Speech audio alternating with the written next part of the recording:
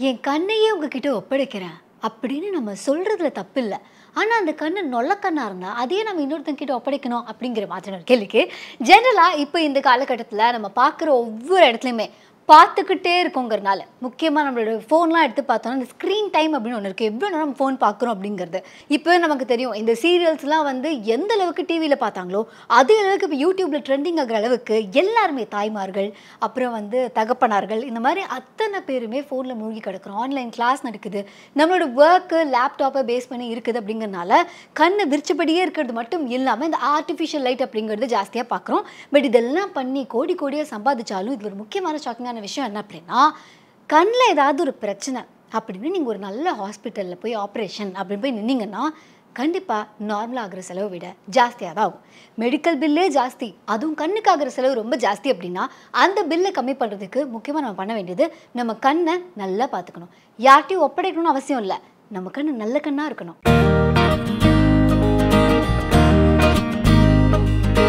கண்ணோடு காண்பதரம் அப்படிங்கிற இந்த ஒரு தமிழ் புக்கில் டாக்டர் திவ்ய பிரதீபா அப்படிங்கிறவங்க வந்து என்ன பண்ணுங்க ஒரு கண் டாக்டர் ஓகேவா அவங்க என்ன பண்ணியிருக்காங்கன்னா கண்ணை பற்றின பேசிக்கான ஒரு சில விஷயங்கள் நமக்கு தெரிஞ்சால் அதை நம்ம நல்லா பார்த்துப்போம் இல்லையா?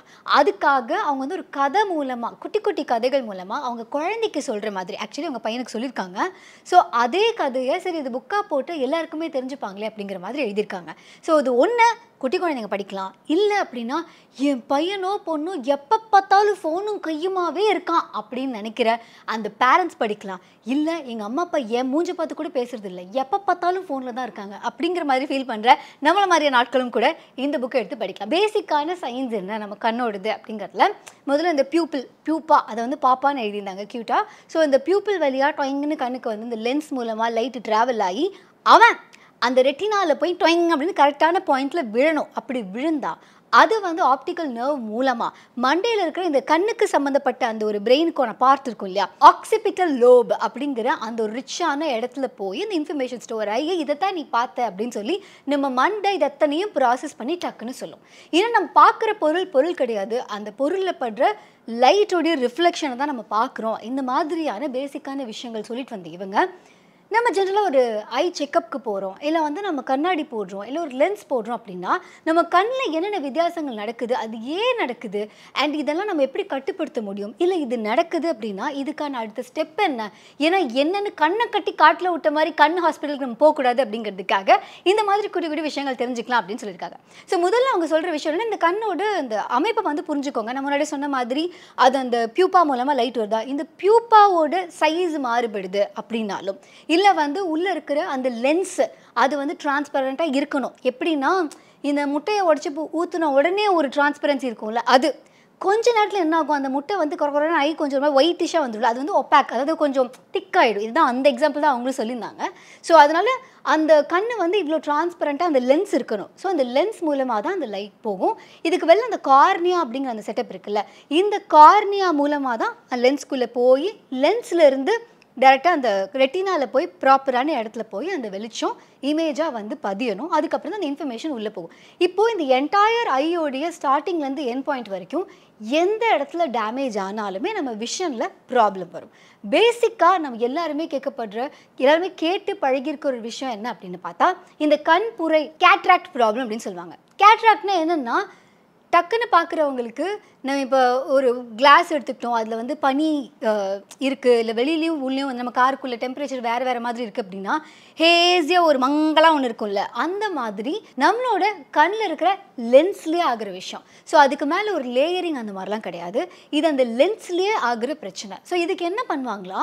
இந்த கேட்டராக்டுக்கு அந்த லென்ஸை டோட்டலாக மாற்றிடுவாங்களாம் கேமரா லென்ஸ் மாற்றுற மாதிரி. பிகாஸ் நம்ம கண்ணும் அதே மாதிரி தானே. கேமரா மாதிரி தான் அப்படிங்கிறனால அதை வச்சும் எக்ஸாம்பிள் சொல்லியிருக்காங்க.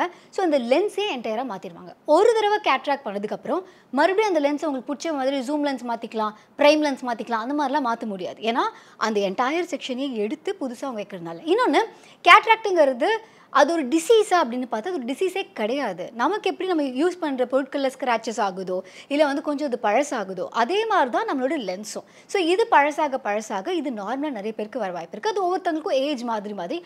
பொதுவாக வந்து பெரியவங்களுக்கு தான் வரும். ஆனால் பிறந்த குழந்தைங்களுக்கோ இல்லை டீனேஜ் வரைக்குமே கூட இந்த மாதிரி பிரச்சனைகள் வரதுக்கு வாய்ப்பு இருக்குது அப்படின்னு சொல்கிறாங்க ஸோ இதில் அவங்க என்ன சொல்கிறாங்கன்னா ஒன்ஸ் நீங்கள் ஆர்டிஃபிஷியல் லென்ஸ் வச்சிட்டீங்க அப்படின்னா அதுக்கப்புறம் கேட்ராக்ட் வராது. பட் நிறைய பேர் என்ன சொல்கிறாங்க இந்த மாதிரி வச்சேன். ஆனால் அதுக்கப்புறம் மறுபடியும் வந்துருச்சு அப்படின்னா மறுபடியும் வேறு விதமான ப்ராப்ளங்கள் வரலாம். அது வந்து it is not because of இந்த விஷயத்தினால மட்டும் இல்லை வேறு ஏதாவது கண்ணில் பிரச்சனை இருக்குது ஏன்னா பொதுவாக இந்த கேட்ராக்டு இல்லை கண்ணில் ஒரு பிரச்சனை அப்படின்னு வரும்போது அது அடுத்தடுத்து அடுத்தது இதை குட்டி குட்டியாக வேறு பிரச்சனைகள் வரதுக்கான வாய்ப்பு இருக்குது ஸோ இதை சரி செஞ்சாலும் மற்ற பிரச்சனை மூலமாக வேணால் மறுபடியும் அந்த மங்கலான ஃபீலிங் வரலாமே ஒழிய மறுபடியும் ஆர்டிஃபிஷியலான அந்த லென்ஸில் அந்த ஆர்டிஃபிஷியல் லென்ஸுக்கு வயசாகாது இல்லையா? ரோபோட்டுக்கு எப்படி வயசாகும்? அந்த மாதிரி அந்த லென்ஸுக்கு வயசாகாது. அதனால் அந்த லென்ஸில் மறுபடியும் கேட்ராக்ட் வர்றதுக்கு வாய்ப்பே இல்லை அப்படின்னு சொல்கிறாங்க இன்னொன்று நம்ம என்ன இந்த ஐ ட்ராப்ஸ் போடுவோம்? இந்த மாதிரி என்ன அந்த போட்டது கிளியர் ஆகிடல நம்மளோட சயின்ஸ் படி பார்த்தா? யோசிச்சு பார்த்தா மங்கலாக இருக்கா?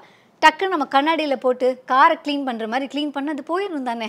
அப்படிங்கிற மாதிரி நம்ம நினச்சா that is not how it works surgery மட்டும்தான் கேட்ராக்டுக்கு ஒரே ஆப்ஷன் அப்படின்னு சொல்கிறாங்க நம்ம முன்னாடியே சொன்ன மாதிரி இந்த கண்ணுக்குள்ளே இருக்கிற ஒரு சில ஐட்டங்கள் வச்சு நம்ம இந்த கண்ணாடிலாம் யூஸ் பண்ணுறோம் இல்லையா?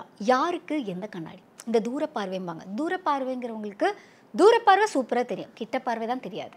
கிட்ட பார்வை இருக்கவங்களுக்கு கிட்டத்தில் இருக்கிறதுலாம் சூப்பராக தெரியும். தூரத்தில் இருக்கிறது எதுவுமே தெரியாது. ஸோ இதுக்கு தான் நம்ம லென்ஸை வச்சு அட்ஜஸ்ட் பண்ணுறோம் இப்போ பேசிக்கான விஷயத்தை பார்ப்போம்.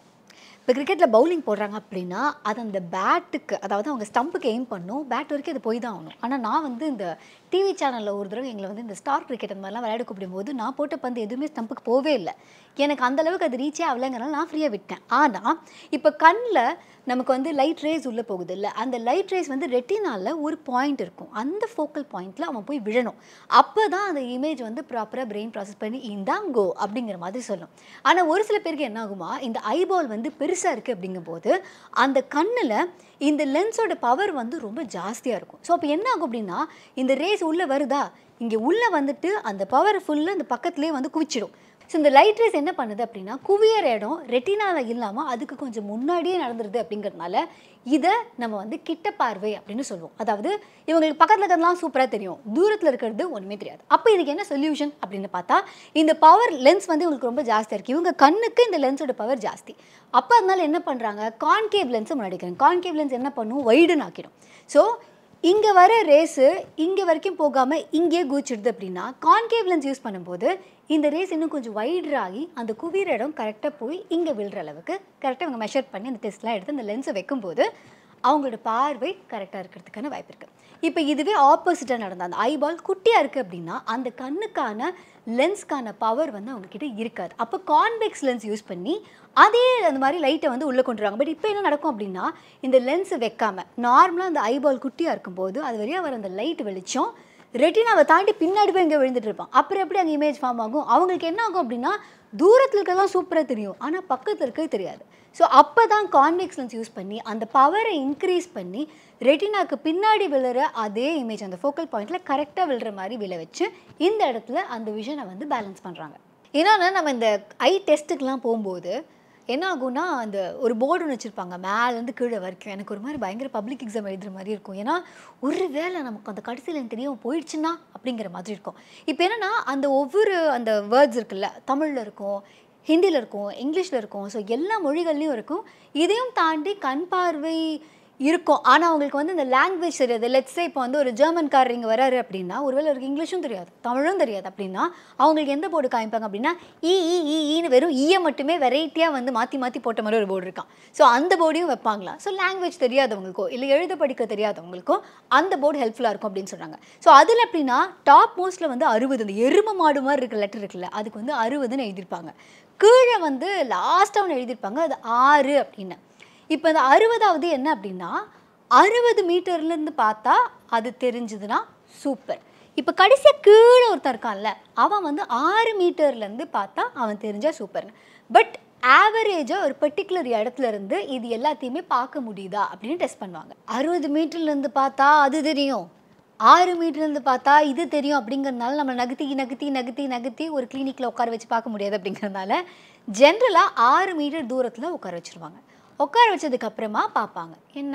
இவங்களுக்கு இது தெரியுதா? அது தெரியுதா? எத்தனை எல்லாம் பார்க்கும்போது இப்போ நம்ம இது எல்லாத்தையுமே வரிசை படிச்சுட்டு இருந்தோம் அதுக்கு பார்த்தா சிக்ஸ் பை சிக்ஸ்டி அப்புறம் வந்து twelve by sixty nine by sixty அப்படின்னு சொல்லிட்டு ஒரு எயிட்டீன் பை சிக்ஸ்டீன் சொல்லிட்டு ஒரு அளவுகோல் எழுதியிருப்பாங்க ஒவ்வொரு இதுக்கும் இது. அது என்ன அப்படின்னா இந்த ஒவ்வொரு லைனும் அந்த ஒ- ஒரு குறிப்பிட்ட மீட்டர்லேருந்து பார்த்தா கிளியராக தெரியணும் நார்மல் விஷனில் இருக்கவங்களுக்கு.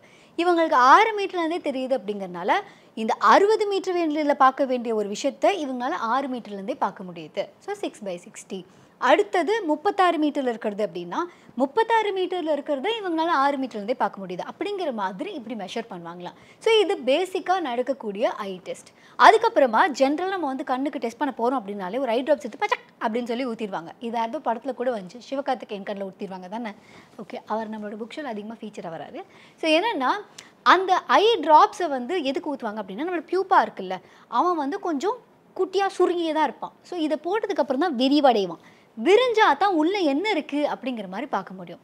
ஆனால் நிறைய நேரங்களில் இதை மட்டுமே பார்த்து ஒரு டெஸ்ட் எடுக்காது. இதுதான் இதுதான் அப்படின்னு சொல்ல முடியாது. இதில் என்ன நான் இப்போ ஒரு சில பேருக்கு அந்த மேலே இருக்க லென்ஸில் இந்த புறையெல்லாம் இருக்குது அப்படின்னா இவங்க டார்ச் அடித்து பார்த்தா கூட அது ரிஃப்ளெக்ட் அந்த லைட் உள்ளே போகாது அப்படிங்கிறதுனால அது மூலமாக அவங்களால பார்க்கவும் முடியாது. ஸோ இதனால் ஐக்கு நம்ம வந்து ஒரு ஏதாவது ஒரு பிரச்சனைன்னு போகும்போது நிறைய டெஸ்ட் எழுதி கொடுக்கறதுக்கான வாய்ப்பு இருக்குது இவங்க என்ன சொல்கிறாங்கன்னா இப்படி பார்க்கும்போது ஒரு பேர்த் ஐ வியூவில் பார்க்கும்போது ஒரு அளவுக்கு தான் ஒரு சில விஷயங்கள் தெரியும். ஓசிடி அப்படிங்கிற அந்த மாதிரி டெஸ்ட்லாம் கொடுக்க சொல்லுவாங்க. அது எப்படி? அது எப்படின்னா இப்போ ஒரு கேக்கை ஸ்லைஸ் பண்ணால் அந்த கேக்கை இன்க்ரீடியன்ஸ்லாம் எப்படி அந்த பேக்கரிக்காரங்களாம் வச்சு காமிக்கிறாங்க அப்படி ஸ்லைஸ் பண்ணி எடுத்து காமிக்கும்போது வா அப்படின்னு இருக்கலாம் அந்த மாதிரி இந்த டெஸ்ட் எடுக்கும்போது நம்ம ரெட்டினாவோட பத்து லேயர்லையும் என்னென்ன இருக்குது அப்படிங்கிற மாதிரி கிளியராக அவங்களால பார்க்க முடியுமா? ஸோ என்ன சொல்கிறாங்க அப்படின்னா ஒரு சில நேரங்களில் இவ்வளோ டெஸ்ட் எடுத்ததுக்கப்புறமும் என்னால் உங்கள் கண் பார்வையை கொடுக்க முடியாது. இது உங்கள் கண்ணுக்கு இதுக்கு மேலே ஒன்றும் பண்ண முடியாது அப்படின்னு ஒரு டாக்டர் சொல்கிறாங்கன்னா நம்ம கண்டிப்பாக கோவம் அப்போ நீங்கள் காசு வாங்குறதுக்காக தானே இத்தனை டெஸ்ட் எடுத்தீங்க? அப்படிங்கிற மாதிரி நமக்கு வந்து ஒரு கேள்வி வரதான் செய்யும்ல ஸோ அதுக்கு இவங்க என்ன சொல்கிறாங்க அப்படின்னா சப்போஸ் இப்போ இவங்களுக்கு வந்து ஒரு பேஷண்ட்டுக்கே வந்து ஒரு கண்ணில் டோட்டலாகவே விஷன் இல்லை. இன்னொரு கண்ணில் ஒரு fifty to eighty percent vision இருந்திருக்கு. ஸோ இப்போது இவங்களுக்கு வந்து மீதி விஷனை வந்து கொடுக்க முடியாது அப்படின்னாலும் அதாவது இந்த ஒரு கண்ணை காப்பாற்ற முடியல.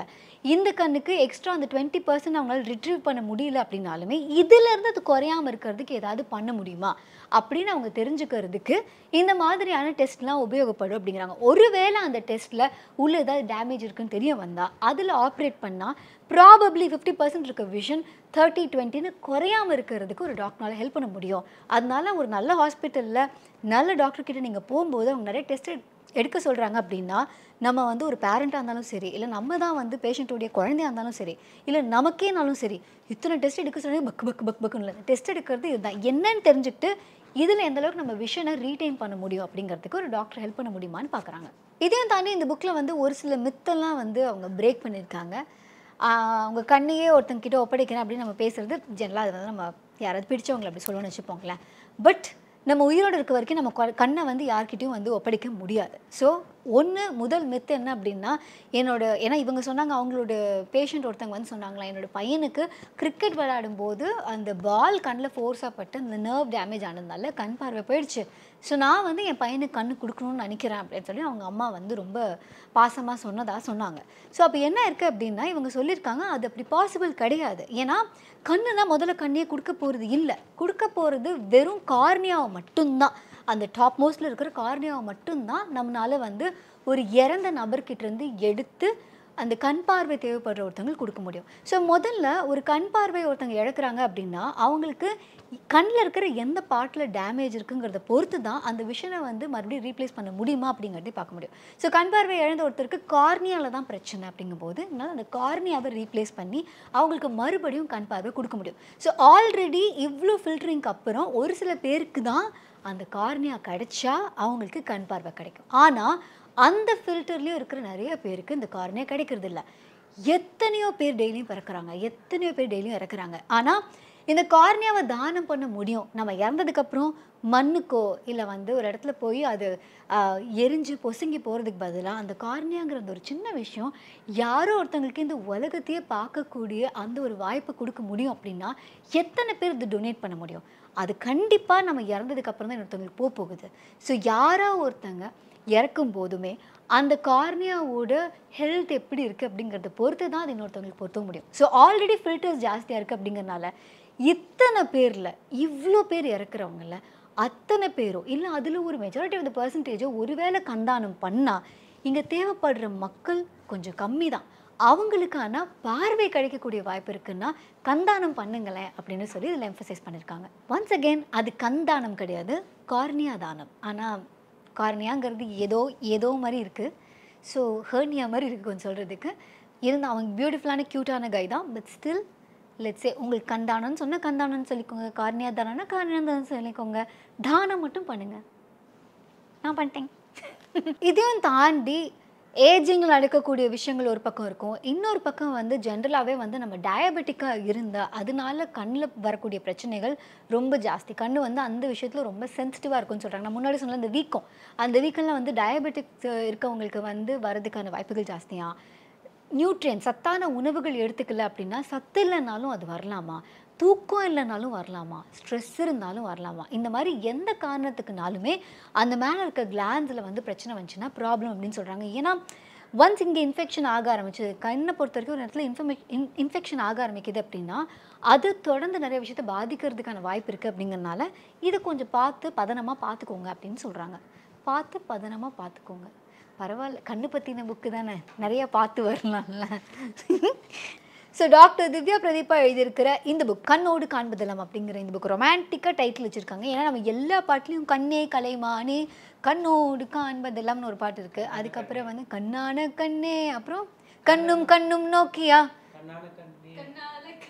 கண்ணால கண்ணால கண்ணால அடுத்து சொல்லுங்க. அப்படிங்கிற மாதிரி நிறைய பாடல்கள் வந்து ஓ மேலே இருக்கிற ரெண்டு கண்ணையும் ஒழுங்காக பார்த்துக்கோங்கன்னு ஒரு புக் எழுதி வச்சிருக்காங்க. இதில் ஓ மேலே ஒரு கண்ணு வேற.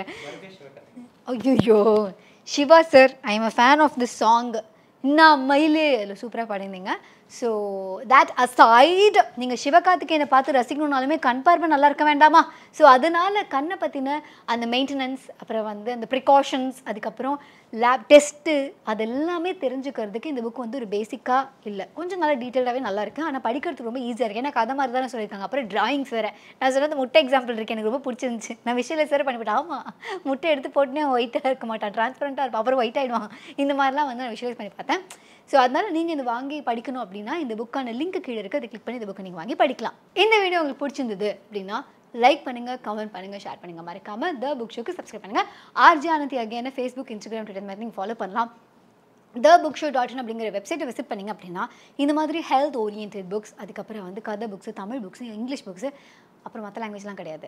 இந்த மாதிரி புக்ஸ் எல்லாம் வந்து நம்ம ஆல்ரெடி ஜானர் வைஸாக பிரித்து வச்சு ரிவ்யூ பண்ணியிருப்பேன். ஸோ நீங்கள் அந்த ரிவ்யூஸ் எல்லாம் கிளிக் பண்ணி அந்த புக்கை வாங்கி படிக்கலாம் இல்லை அந்த ரிவ்யூவை பார்க்கலாம் இல்லை வந்து ஸ்பாடிஃபைல த புக் ஷோடைய பாட்காஸ்ட் எக்ஸ்க்ளூசிவாக இருக்குது அதையும் நீங்கள் கிளிக் பண்ணி கேட்கலாம். பாய் அப்புறம் இந்த மியூசிக் போட்டுருணும் கண்ணோடு கண்ணம் தக தக